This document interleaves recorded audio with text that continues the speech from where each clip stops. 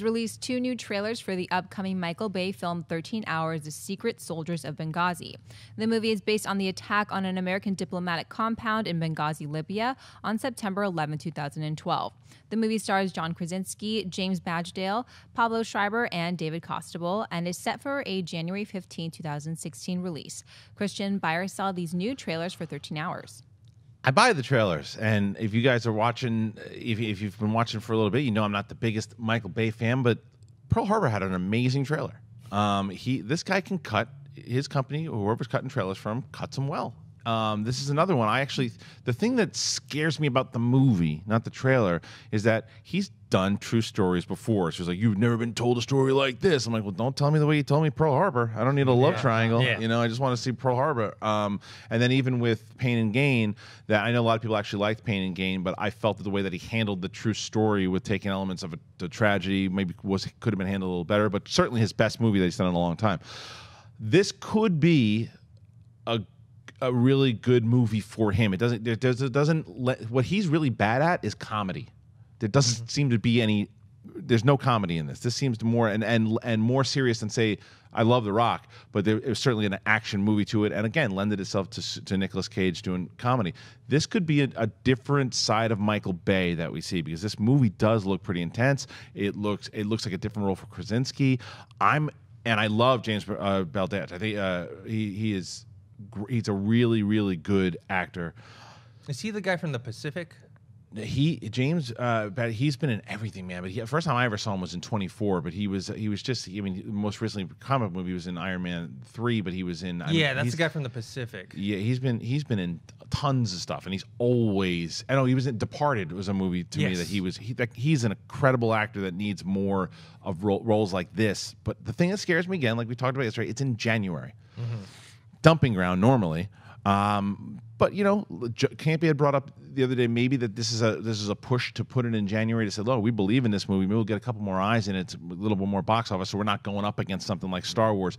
So um, yeah, but the trailers I really enjoyed. I, th- I think they're trying to duplicate the success of American Sniper. Exactly. Like putting in that time frame. Um, But Sniper got a limited release They in got, they December got as limited well, release, too. so it could be Oscar Yeah, worthy. But yeah. I think what they're trying to do is like drop it in January, like American Yeah. Sniper dropped in worldwide release. So I mean, you're right. yeah, I, I based on the trailer, just like the Alice in Wonderland one, I'm gonna buy it. And everyone also knows I have issues with Michael Bay, but just if I watch the trailer, don't think about who's directing it. I think they're good trailers, and it looks like a good movie.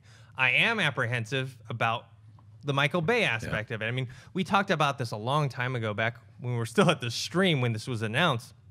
You know, Michael Bay is not known for subtlety and nuance. And in this type of movie that's based on true events, we don't want to see a Pearl Harbor. We don't want to see some sort of tacked on uh, story, romance, or emotional fake story to it. We just kind of want to see a retelling. Like Yeah. a, I'd rather see something like a, a Black Hawk Down Mm-hmm. or a Zero Dark Thirty. I mean, those weren't like hundred percent accurate, but at least they were a little more faithful than Ridley something like Scott, Kathryn Bigelow. yeah, more, more faithful than Right. something like a, a Pearl Harbor, where it was like Titanic with you know using Pearl Harbor as the, as, as the background. So, yeah, I, I am a bit apprehensive. Schnepp. I'm gonna buy this, but you know, I'm gonna buy it with uh, you know, with the caveat of like it's a good trailer. There's a lot of pyrotechnics that you see. There's a lot of action scenes that seem very like kind of mechanically shot. So, uh, you know, when you have someone like Paul Greengrass, it grounds the film a little bit more, and especially when it's a, like it's you're do- doing something that it's not even a true story, but you're like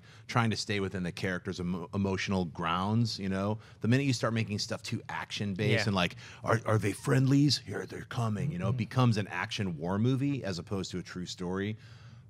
With that, I, I think the trailer actually, if you didn't have Michael Bay's name on there, I would have been like, I'm looking forward to seeing this film. So, I and I liked Pain and Gain. Mm-hmm. So I, I don't care about the other films that he did. Like maybe this film, he's really knocking it out of the park. We'll see. I like the trailer. Yeah, no, I'm I'm worried that like I don't mind if he uses slow motion I was in the just going movie. to say over under 13 slow motion Yeah. shots. But they have to fit the particular scene. He can't just do them to make make it look cool or panning shots to make it look cool. This is more of a Paul Greengrass Yeah. gritty type of thing. So if he does it in that vein, I mean, I may He doesn't know, this but the thing that what I'm worried about, he doesn't know how to do that. I know. I mean, it's know. just not his strong. It's it's not his. That's not what he does. Like every movie that he shoots, whatever the tone may be, he shoots it the same exact way with the slow motion. The I'm, I'm getting like the- tricked again. Like yeah, I'm thinking well, like, oh, he's, not going to get- change his style. Don't, don't- over, you're gonna over 13. over 13 yeah don't don't tr- don't i mean i think that he could do a different movie but i certainly don't i'm not looking for him to change his directing style because he just doesn't know how to do that it's not what he does he, Can, can we address the two trailers? Because I found a little Okay, strange. The, like green was band saying. and the red yeah. band. So I watched the red band one first. Okay. Because I was like, oh, the, the green band will be totally different, and it was almost the exact same Pretty- thing. pretty similar. Only they just cut out like two like slightly extended action sequences. some swear words, Yeah, a couple- few swear words, but I was like, they're almost exactly yeah, the same. tonally saw no the difference. same. Why? and- so and why? mostly- wh- What was a? What's the catch? I, I have no idea because I was looking for it too, and I even think that they used two of the same curse words in both of the of the trailers. And I thought there would be more violence in Yeah. the red one, red band one, like some sort of something that we haven't, you know, like heads getting blown Yeah, off or arms, something. Yeah, Some some really stone cool- guys like, uh, I uploaded the same one twice, man. Hey guys, if you like this clip, click here to watch the entire episode. Also, make sure you subscribe to our YouTube channel because it'll help you stay up to date with all the stuff we've got going on here at Collider.